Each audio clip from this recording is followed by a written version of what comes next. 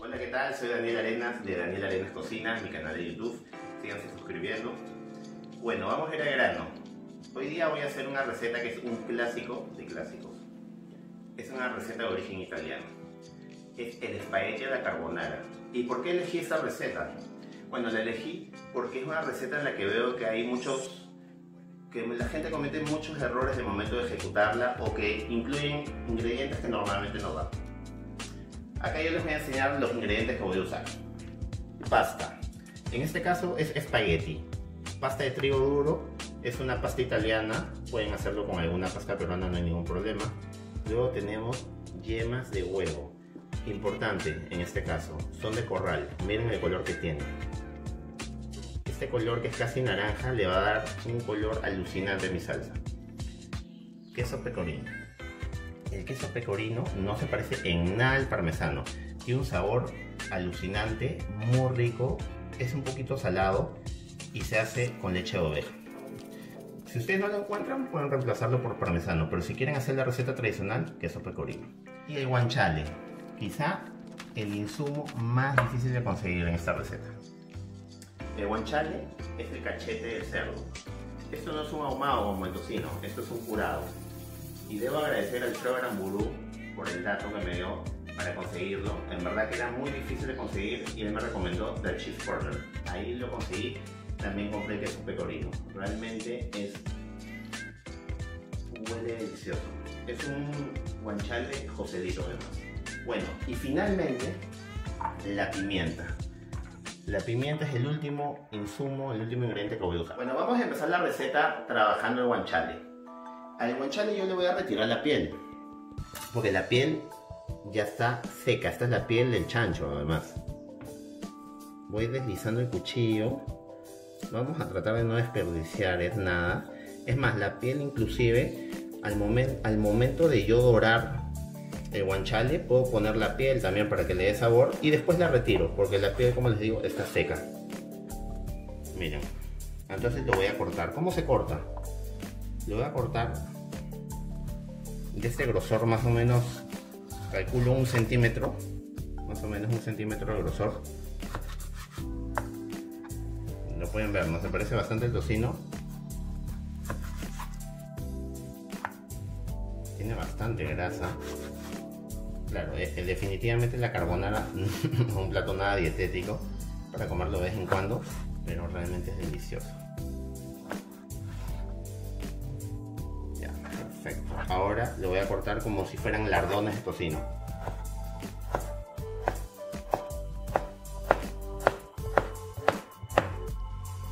Ese es el corte perfecto, miren. Y lo voy a poner acá. Acá tengo el guanchale picado, como dije, corte lardón la idea es que tenga esa capa de grasa y esa capa de carne. Y ahora vamos a dorarlo lentamente en una sartén. Este proceso puede durar unos 10 minutos aproximadamente. Lo voy a dorar lentamente para que para que desarrolle, vaya desarrollando más sabor, más aroma. ¿Y qué les dije? La piel la piel la puedo poner acá, después la voy a retirar porque la piel tiene bastante sabor también. Entonces acá lo pongo a fuego medio bajo y lo dejo ahí tranquilo. Dejamos ahí tranquilo el guanchale que se vaya haciendo. Bueno, ahora mientras el guanchale se sigue dorando lentamente, vamos a cocinar la pasta. Normalmente la pasta cómo se cocina. Por cada 100 gramos de pasta un litro de agua y una cucharadita de sal. Y ya acá tengo el agua, ya tiene la sal, está hirviendo. Porfa, no le pongan aceite al agua, no es necesario.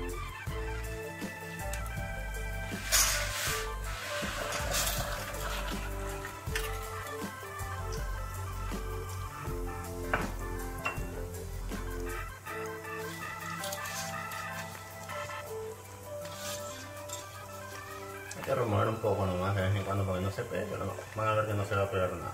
Bueno, ahora vamos a ir con la salsa. ¿Y cómo se hace la salsa? Muy fácil, acá tengo las cuatro yemas de huevo. Estoy haciendo para dos porciones. El queso pecorino.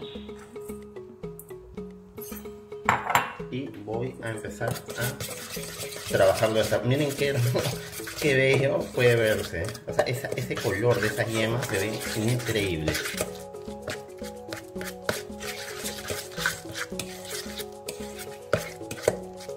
Ya le puedo ir echando un poco de pimienta. Recién molida, mucho mejor.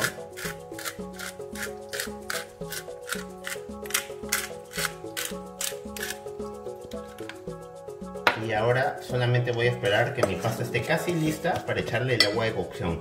El agua de cocción va a ser lo que le dé, lo que emulsione esta salsa. El está casi en su punto. Y la pasta también, lo estoy haciendo al mismo tiempo. Lo que voy a hacer es, voy a retirar parte del agua de cocción porque esto me va a ayudar a hacer mi salsa. Este paso es muy importante. Bueno, vamos a ejecutar la salsa. Muy importante, agua de cocción. Se echa poco a poco y se mezcla muy bien. Vamos a mezclarlo rápidamente. Esto va a hacer que mi salsa emulsione. Miren, miren la consistencia que ya tengo.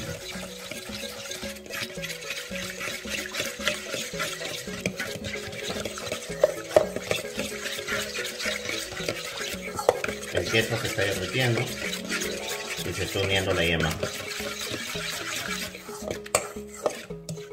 Está perfecto. Ahora vamos a ir a la pasta. El guanciale ya está en el punto perfecto. Le he retirado un poco de grasa y he separado solamente para dos porciones, que es lo que yo voy a hacer. La pasta está al dente, no tiene aceite, nada. Ahí me voy a ayudar con mi mano acá.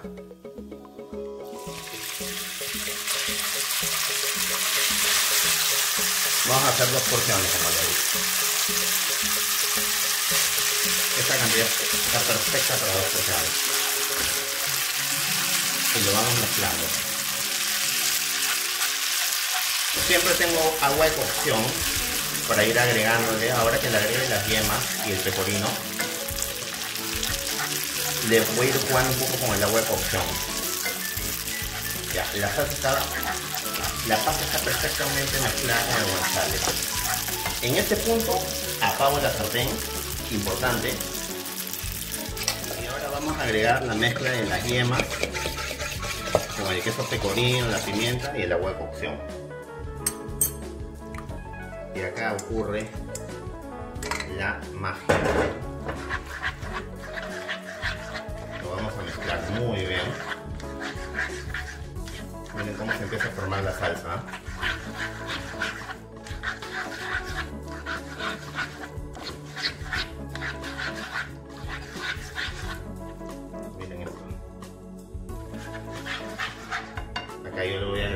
Poquito más agua de cocción. Para darle un poco más de ligereza. Ojo que ya estoy con la sartén apagada. Y miren, observen cómo la yema con el agua de cocción el queso se formó. Esta salsa no tiene crema, no tiene absolutamente nada de leche, nada. Es pura yema con el agua de cocción y la grasa del guanciale. Y ahora sí vamos a servir.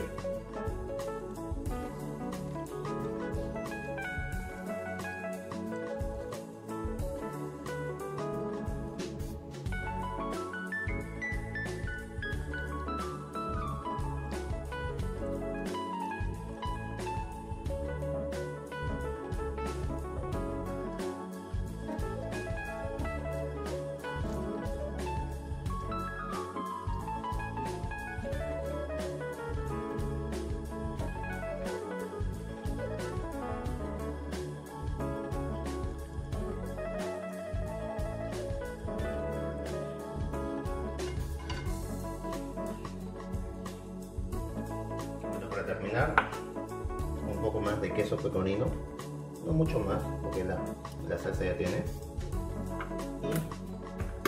Y pimienta, recién molida, súper importante. Listo, aquí tienen el espagueti la carbonara con la receta tradicional romana. Espero les haya gustado el video.